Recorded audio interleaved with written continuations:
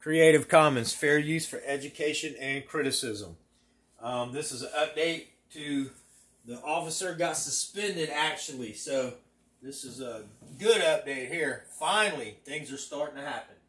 Rochester, New York police officer has been suspended after pepper spraying incident involving a nine-year-old girl. Two other officers have been placed on administrative leave. Now, according to a statement from the city's police department, the girl kicked an officer who was forcing her into a police vehicle Friday. Police were reportedly responding to a report of what they called family trouble. New York Attorney General Letitia James says her office is looking into this case. Of course, they're looking into it.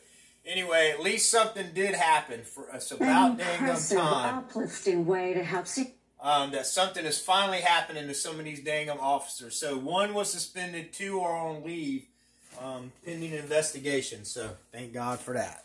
About dang time.